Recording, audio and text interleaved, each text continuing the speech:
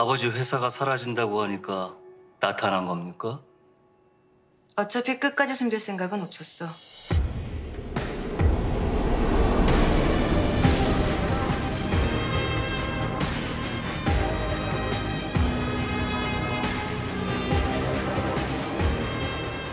내가 정한 타이밍에 나타나 주려고 했거든.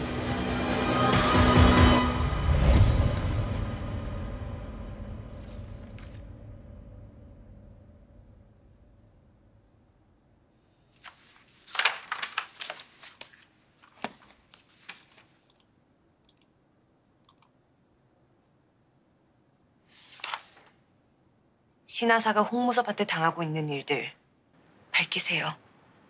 그리고 진심으로 용서를 비세요. 군검사로서 했던 악행들 그 과거가 사라지는 건 아니지만 과거는 미래를 바꿀 수 있는 답이 되기도 하니까요.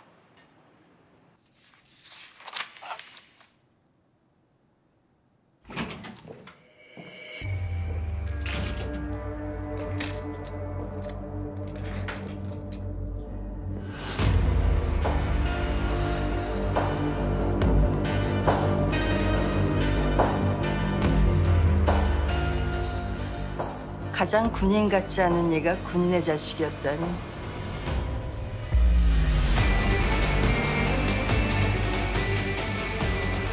도배만. 네가 그 아이였구나. 내가 살려냈던 그 아이.